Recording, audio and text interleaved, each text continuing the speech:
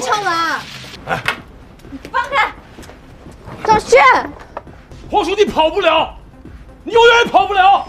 我们总能听到我们心中想说却说不出，想要表达却难以表达的事。哎哎哎，这声音。最近挺用功啊，你。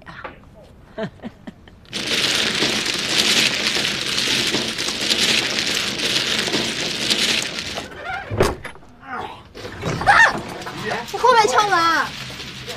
不不知道呀。对不起啊。哎，干不地道啊！我有人等你了。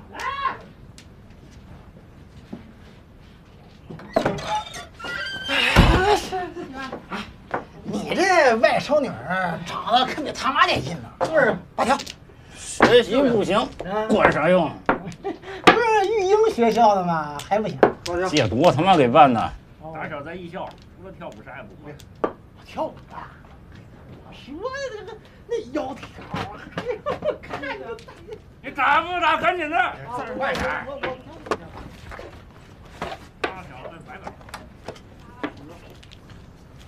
哎，你干嘛去啊？哎呀！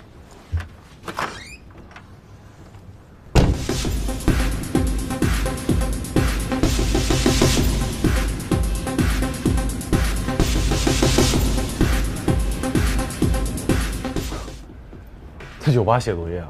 装相给谁看呢？你离我远点。走，给我喝一杯。黄叔，你现在为什么这么对我呀？去了育英翻脸不认人了是吧？你自己心里清楚，你跟那些好学生不一样，你们根本不是一类人。我是什么样的人，不用你告诉我。反正他们都是好人。什么好人？就你找那俩保镖，哎，你信不信我分分钟让他俩后悔？张旭，我警告你，你要是敢对他们做什么，我就让……你怎么着？报警？杀了我？哎，你放开！张旭，放开你！我放开你，你又能去哪儿？